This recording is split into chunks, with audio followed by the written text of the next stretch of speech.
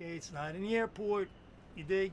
It's a, a magical. It's a film I've wanted to make for a really long time. I want to I want to film the landscape of dreams, the reality of dreams.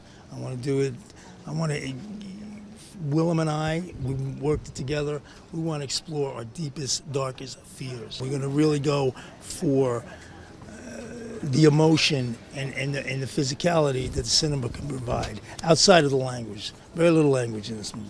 Kickstarter thing works, bro, and I want it to work for me because there's no one else that I could really that that that fulfills not just this film, every film. Okay, it's the connection that we're looking for in the person, in the personal way we work, for the personal way we can now raise money for film. But that means every one of you guys have got to give us money. okay, let's get to the chase. Okay, it's that's the deal. We're at five euro, ten euro, fifteen euro. Find a way out of that, of that. That's what the film is about.